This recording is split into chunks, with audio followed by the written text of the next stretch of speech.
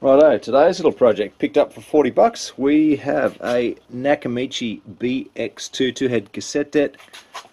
It powers on, which was a very, very good sign. And it actually plays. I'm going to need a cassette in there to, to trick the mechanism.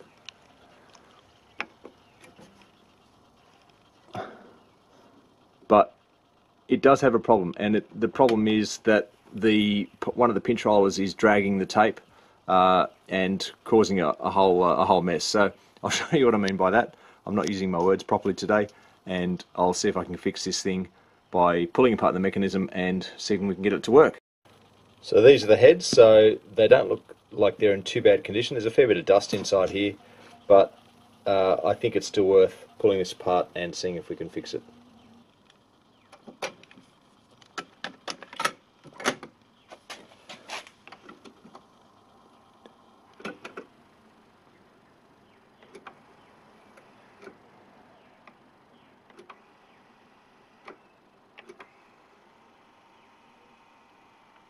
So it's looking very tight in there. And if I eject this, oh, that's not too bad. Maybe if I get a bit closer, you'll see what I mean. I press play.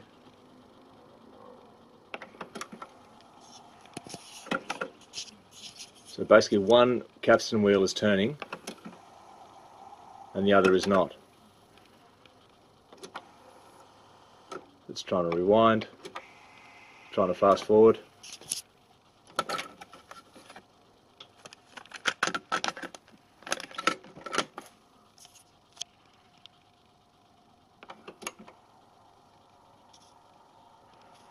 Okay, so both capstans are working this time.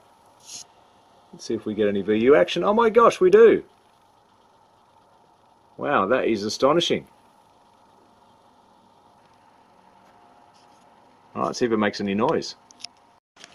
So I've got this hooked up to a uh, Sony a, uh, STR DB790. This one has a problem. This one has a very, very dim display. You can just see it there. But anyway, let's get to the problem. The problem is this tape deck. So it does Whenever work. you hear that scurrying, hurrying sound, you turn the page. Ah, what are you blathering about? Just Don't using the. Dolby controls. Read. So this actually has adjustable output. You start, please. That's the record level, and then that's the output level. So that. And look at those beautiful I VO, want VUs. some bread. Roared the giant. Oh, the big hungry giant. So, what I can see is happening. It's not exactly perfectly easy to see, but the capstans aren't spinning evenly. So, there is a. It's, and also, rewind and fast forward don't work. So, if I press stop, press rewind, basically, very little is happening. Stop, and there's a logic problem with the fast forward as well. Fast forward. It tries to fast forward, but it's just playing slower than even play would play. So if I rewind, basically nothing happens. So I think the problem, and that tape is okay, but I think the problem is there is a capstan wheel in there that, uh, or a drag wheel that's that basically transfers power, and I think it's uh, it's probably needs a uh, probably needs a rebuild. So let's have a look.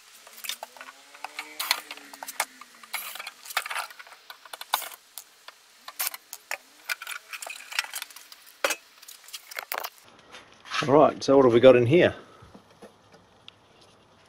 We have the insides of a Nakamichi BX2. So uh, basically I'm going to have to pull this apart. The belts feel okay, they look okay. Uh, I'll do some logic tests just to see how this thing is playing and see if the logic motors are all working. Uh, I I'm pretty sure the electronics here are perfectly fine. It's mainly the transport mechanism and some of the rubbers. So looks like I don't know. I've never pulled one of these apart before. I've done a few other decks, but not a Nakamichi, which is why I was attracted to it. And they've got a fearsome reputation as being awesome decks.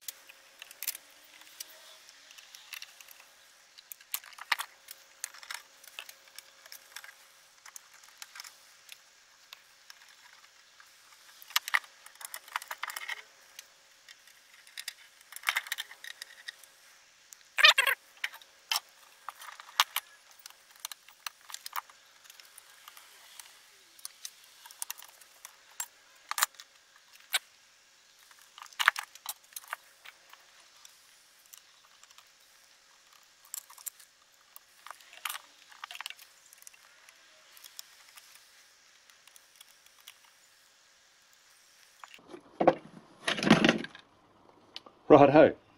So that's how you get the tape mechanism out.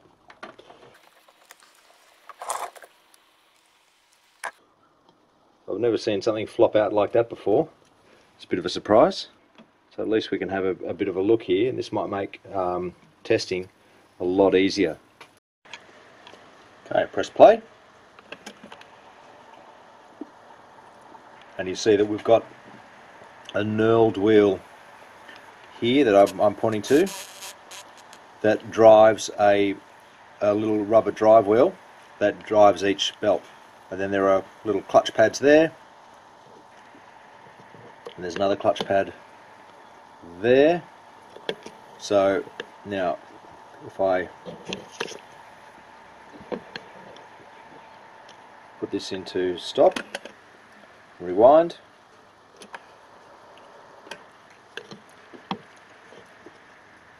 it doesn't rewind properly. Fast forward. Okay, so that works. What we've got here is a little breaker switch here. If I break the contact like that, I've now got access to all of the transport functions. So we've got reverse, which doesn't seem to want to play for very long. We've got press stop, fast forward, goes the other way, and I can I can stop that very easily. So this little wheel, I'd say, just does not have enough clutch power. If I stop that, press play.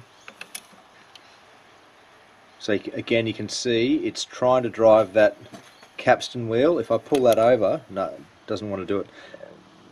I'm thinking if I pull that over, there we go, it puts a bit more force on and it seems to be a lot happier. If I take that off, so I'd say this little wheel here is the problem. Alright, let's pull that apart further and see what we can find. Now just out of interest sake, I've pulled this, I've turned this upside down just so you can see the logic mechanism. So this little motor here drives all the logic controls. So that's rewind, fast forward, play. Now I think this also needs a pretty good lube as well. So I'm going to do that. I'm going to give it a bit of a lube and there we go. It's play, stop, rewind, fast forward. Okay, now that everything's pulled apart, we'll have a better look at the heads.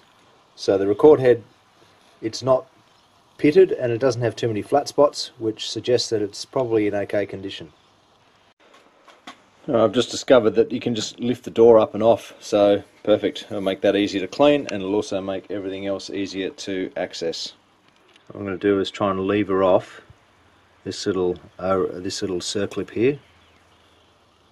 There you go. Put that somewhere safe and take off this little spindle wheel. Now this just flops. It's not driven by anything. So hopefully it's just this little little wheel which does actually have a tiny little washer behind it so don't lose that if you're pulling this off.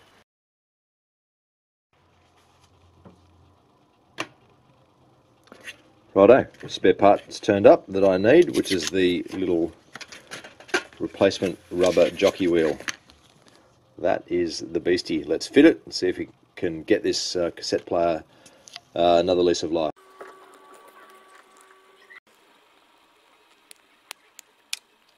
Here's a little pair of pliers just to grab that, pull that off. And that is quite decayed, that rubber. It's quite hard. Open up the new one. There's a new one. That's the old one. That has got quite a bit of meat on it. Hopefully that just slips on. And it does. Just have to make sure that it's seated. Okay. Done. Simple as that. Put that back on. Now this little rubber O-ring has to go on. There we go. Now I'll fire this up. See if it works.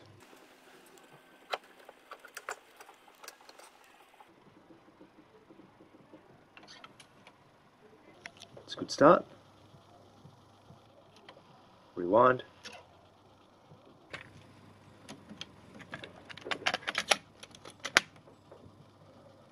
Okay, Play. Beautiful.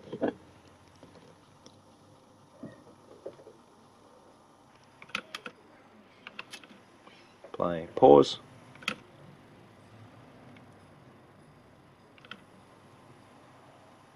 Stop. Fast forward.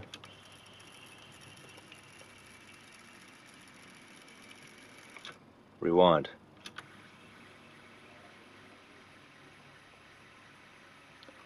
Perfect. Looks like I fixed it. Reassemble, do an audio test. We are done. Okay, let's have to remember which screws go where.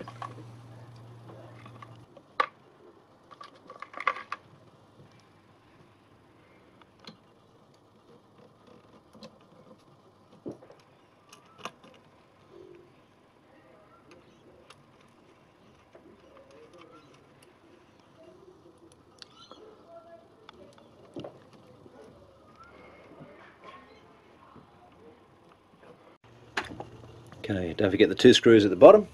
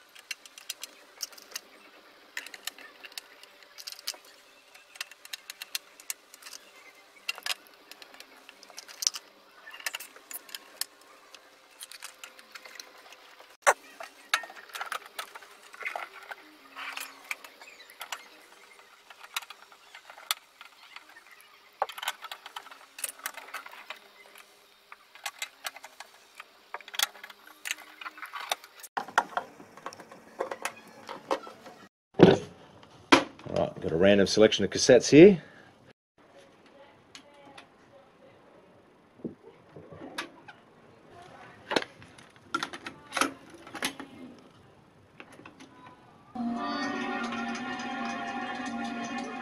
Beautiful. Or he will catch you with his magical.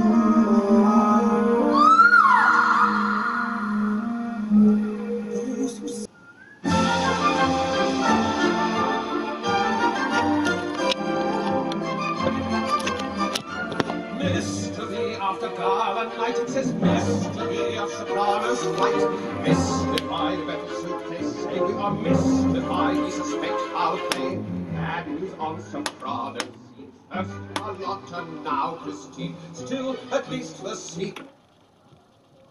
Soul gossips.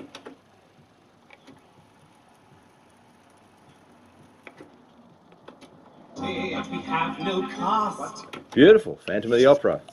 What a way to test. Alright, this one's good to go. Fantastic. Easy repair, $11.